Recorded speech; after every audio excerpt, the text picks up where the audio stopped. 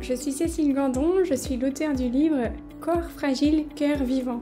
C'est un livre dans lequel je raconte sous forme de petits textes courts euh, toutes les aventures que mon handicap moteur me fait vivre au quotidien. J'aurai la joie le 9 novembre prochain de donner une conférence avec euh, Marie-Amélie Saunier euh, sur le thème Les mots comme un baume.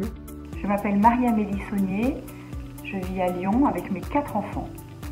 Mon fils est né à 22 ans, il s'appelle Paul et il est autiste. Depuis plusieurs années, j'écris des chroniques pour euh, le site internet de la revue Ombre et Lumière et j'en ai tiré un livre qui vient de sortir qui s'appelle On n'est pas à l'abri d'un bonheur. On essaiera de vous expliquer comment euh, l'écriture en fait nous permet d'approcher cette réalité tellement euh, complexe et surtout sensible et délicate du handicap. Connaissez-vous l'autisme? Avez-vous déjà eu l'occasion de côtoyer des personnes sans langage, sans autonomie, sans compréhension des situations et des mots?